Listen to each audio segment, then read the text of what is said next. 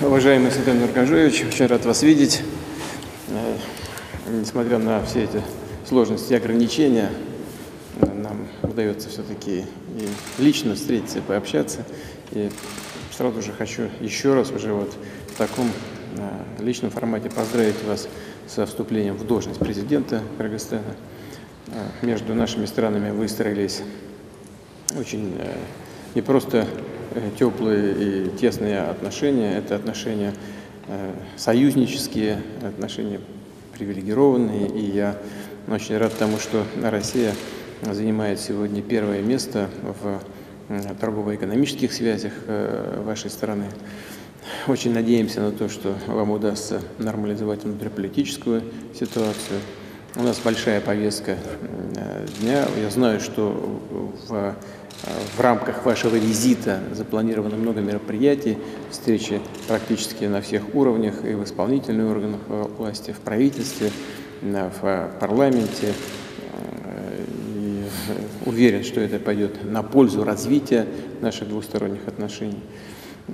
Мы оказывали помощь Кыргызстану и в борьбе с эпидемией. Кстати говоря, я хотел бы тоже выразить удовлетворение тем, что вам удается сделать на этом направлении, сдерживать развитие э, пандемии, уменьшить количество случаев новых заражений.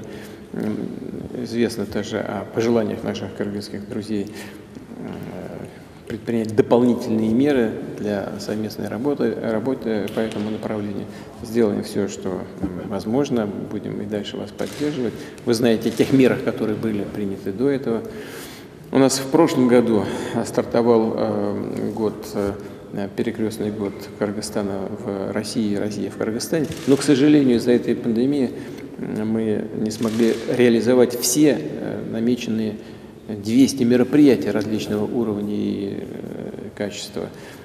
Но уверен, что по мере стабилизации ситуации в санэпидемиологической и санэпидемиологической обстановке мы это все наверстаем в том числе и наше сотрудничество в гуманитарной области. Здесь тоже много интересного и перспективного.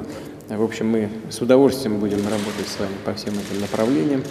А, и еще раз хочу сказать, очень надеемся на то, что задуманные вами мероприятия внутри страны, в том числе и поправки в основной закон Кыргызстана, будут способствовать стабилизации в республики и будут создавать условия для поступательного развития самого государства, ну и, конечно, будут способствовать укреплению наших двухсторонних э, межгосударственных связей. Добро пожаловать еще раз. Рад вас видеть. Спасибо, Владимир Владимирович. Уважаемый Владимир Владимирович, позвольте приветствовать вас.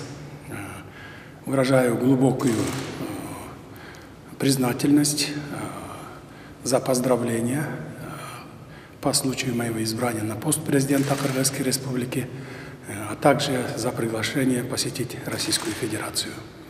Э, несомненно, мой э, первый визит, зарубежный визит к вам в качестве президента Кыргызской Республики доказывает высокий уровень двусторонних отношений между нашими странами. Мы намерены продолжить укрепление Э, стратегического партнерства и союзнических отношений. Э, прежде всего, э, выражаю огромную благодарность вам за поддержку и всестороннее содействие в регулировании политического кризиса. Мы намерены продолжить сотрудничество с Евразес, СНГ, ОДКБ и ШОС.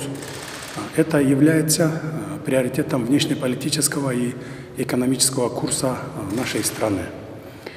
Мы э, особо признательны за поддержку в сложное время, э, связанную с пандемией.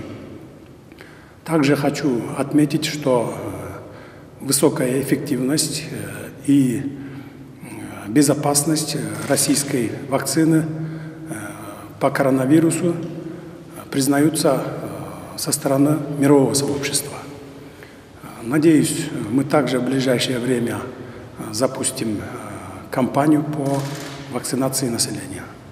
Уважаемый Владимир Владимирович, мы всегда готовы э, к- сотрудничеству с Российской Федерацией.